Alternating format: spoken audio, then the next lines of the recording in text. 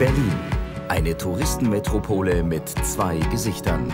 Berlin ist mit den meisten Profimannschaften der Republik die Hauptstadt des Sports.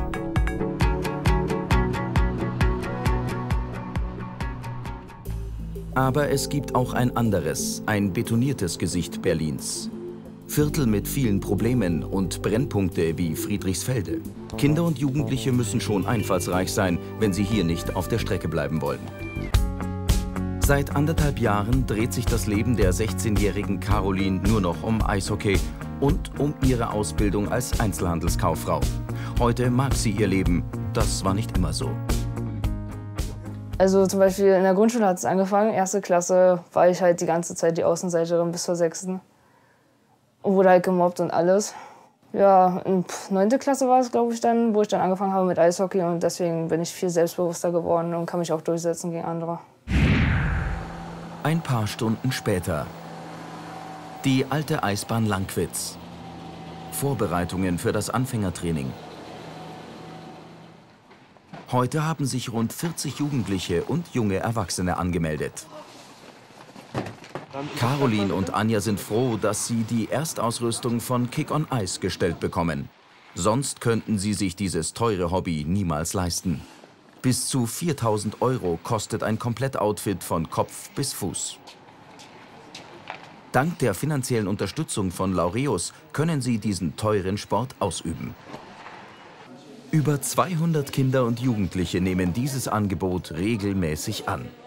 Ob Jungs oder Mädchen, alle sind hier willkommen. Ja, also es gibt Leute, die Eishockey spielen als Mädels und die müssen dann aber auch schon zeigen, dass sie die Härte so, so auskönnen.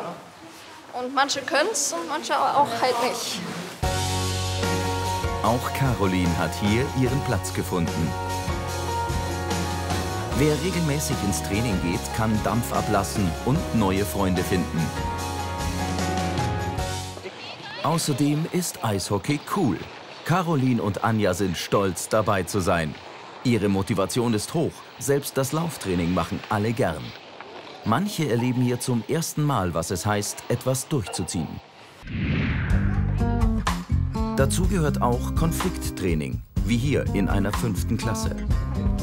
Sozialpädagoge Stefan Kahle und Polizist Thomas Gritzka vermitteln spielerisch, wie wichtig so einfache Dinge wie Zuhören und gemeinsames Handeln sind. Damit tun sich auch viele Erwachsene schwer. Super. 15. Nein, 13. 13,3. Super. Toll. Also beim dritten Versuch seid ihr schon bei 13,3 Sekunden. Wir kommen nicht hierher, wenn schon die großen äh, Konflikte da sind. Die haben sich nicht, nicht geprügelt oder sowas, sondern versuchen, die dafür zu sensibilisieren, sehr früh ähm, zu erkennen, da könnte ein ähm, Konflikt oder erstmal ein Missverständnis, dann ein Konflikt entstehen und sie können dem schon ausweichen oder anders damit umgehen. Samstag, halb neun.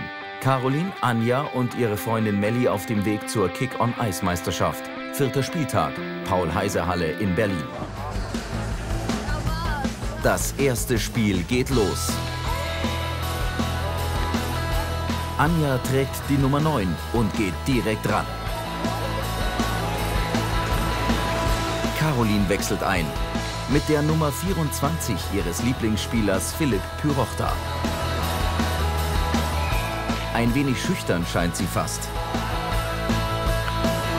Aber alle gemeinsam schlagen sie sich wacker gegen die drittplatzierten Moabiter Eisbrecher. Am Ende unentschieden plus Fairnesspunkte.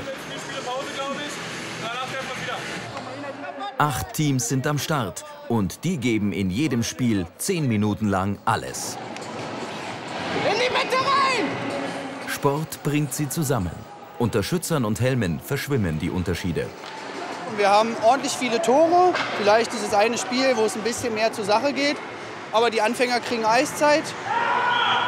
Da fällt schon wieder ein Tor. Ja, alles gut. Wunderbar. Mit Niederlagen umgehen und dennoch die Hoffnung nicht aufgeben. Das haben sie hier gelernt und verinnerlicht beim Laureus-Projekt Kick on Ice. Man muss sich einfach seinen Respekt erkämpfen, so wie im echten Leben.